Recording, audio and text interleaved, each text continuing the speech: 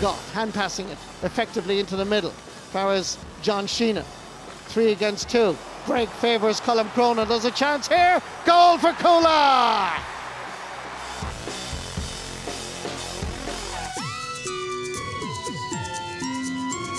Comes far as John Sheehan. But Ballyea have it once more. On the turn, on the run through. It's a really quality point by James Murphy.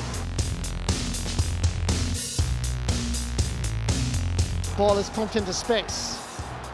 And once again, it's that man, Con O'Callaghan, causing problems for Jack Browne. And that is a wonderful score by Con O'Callaghan.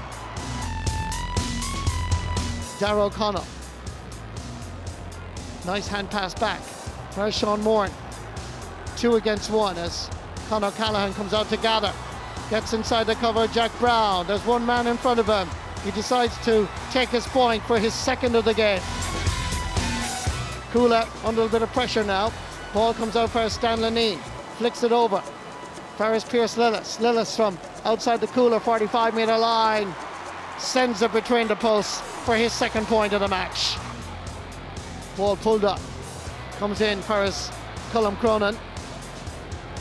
Given acres of space and sends that ball between the posts.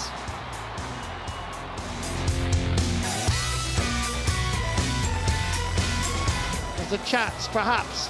Right man, right place. There's a chance here for Niall Deasy. Ballyea are back in the game.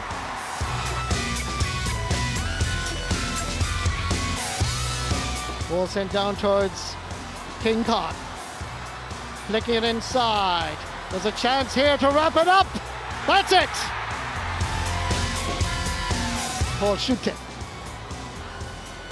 Flicking it over. Creating the space. Ball is sent in from the middle of the park. It looks good to me. It looks good to the umpire. It's brilliant.